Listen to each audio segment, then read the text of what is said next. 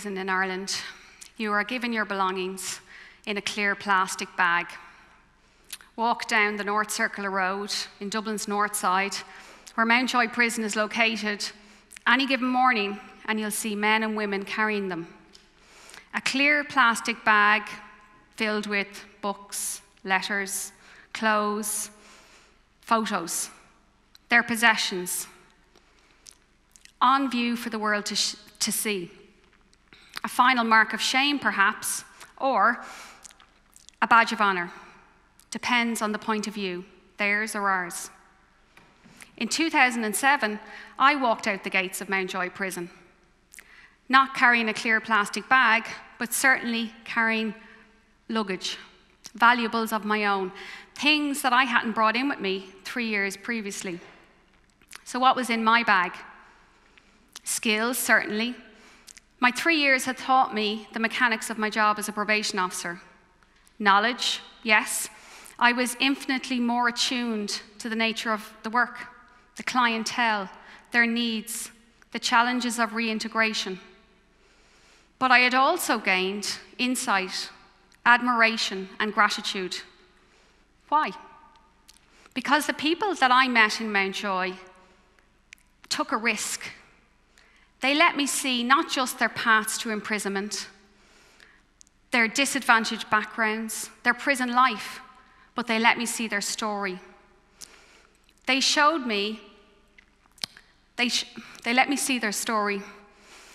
They showed me that this was just one part of their story and not the whole part or the most important part, just one part.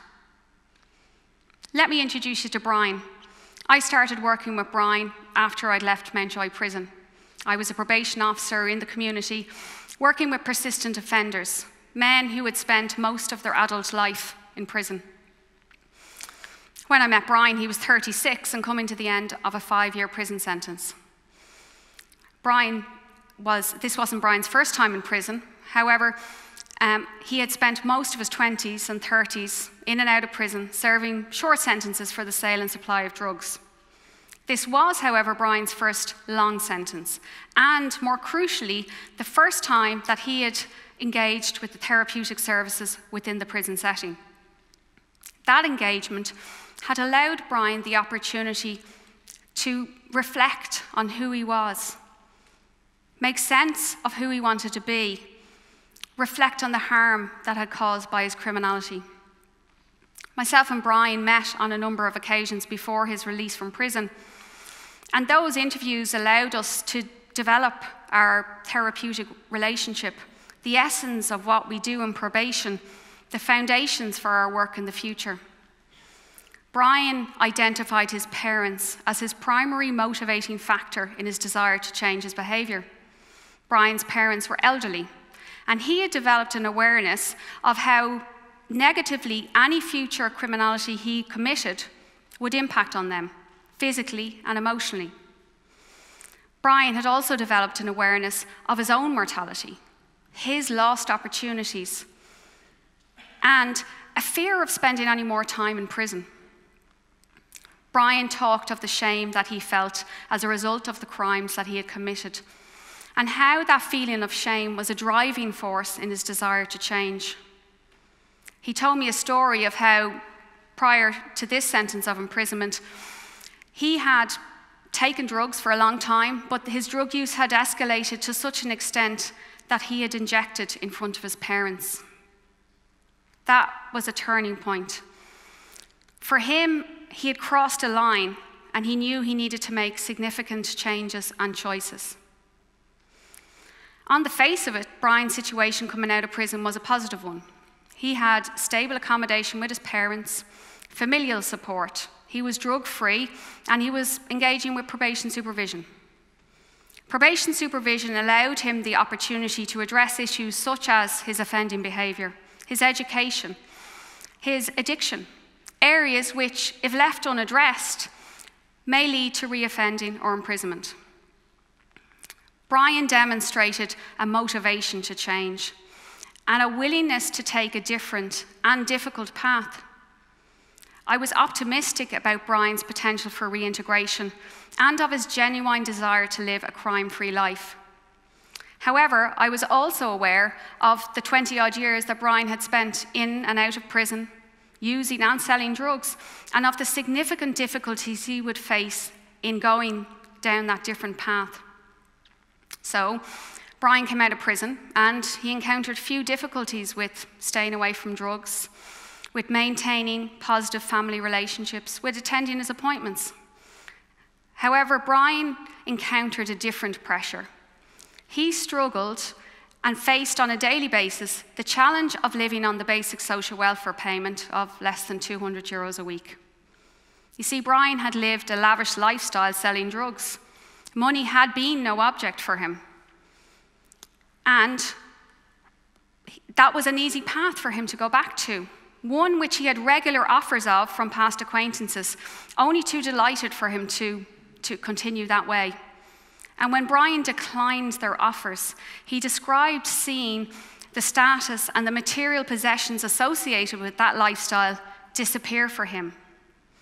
But only for him, they were still evident amongst his peers. So myself and Brian worked devising excuses which he could employ when he met an old friend and he needed to avoid them, but not offend them, because those people still lived in his community, a community within which he needed to reintegrate.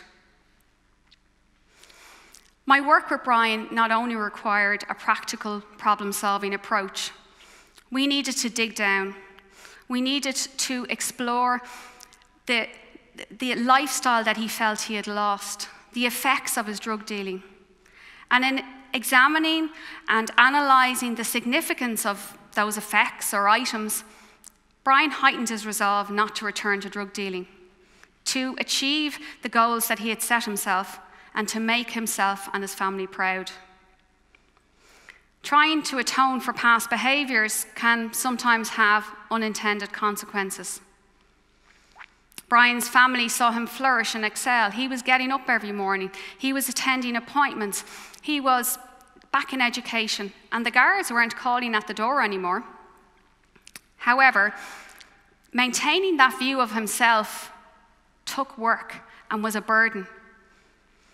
Brian spoke to me of the pressure he felt and of the failures that came about following that. The days when he strayed back into that old lifestyle, looking to revisit the rewards he believed that he had relinquished. Brian, to his credit, trusted that I would be able to balance the two seemingly opposing roles of a probation officer care and control. He trusted that I would care by listening and empathizing to the pressures that he was feeling and that I wouldn't penalise him for his openness in discussing his setbacks. On the days when Brian's determination and resolve would falter, he required support to get back on track. I would remind him of his successes, of his capacity to achieve his goals, and of the opportunities that he had at his disposal to live a crime free life. You see, Probation practice enshrined the importance of believing in the person and the possibility of change. For me, Brian displayed courage on a daily basis when he faced these challenges. He kept going. He was the epitome of Samuel Beckett's quote try again, fail again, fail better. I'm pleased to say Brian finished his probation supervision, and during those two years, he achieved many of the goals that he set for himself. He has been out of the criminal justice system for over a decade. And I recently bumped into Brian in Dublin City Centre where he was working for a homeless charity. And we stopped and chatted. And he told me of how far his life had come, how high he had risen, and where he was now. And in listening to Brian, I realised that he had shifted in real terms, but also in how he now saw himself. No longer the offender and addict, now simply a father and employee. Brian talked of the calmness that he felt in his life, free from the frenetic lifestyle that's associated with criminality. And that change in perception of self had allowed Brian to make sense of his life, to recreate another identity, to distance himself from the past, and to lead a law abiding future. Brian told me that a big part of that change for him was the idea that he could pay back or make amends for the harm that he had caused. And hence, on that day, he was helping a homeless charity.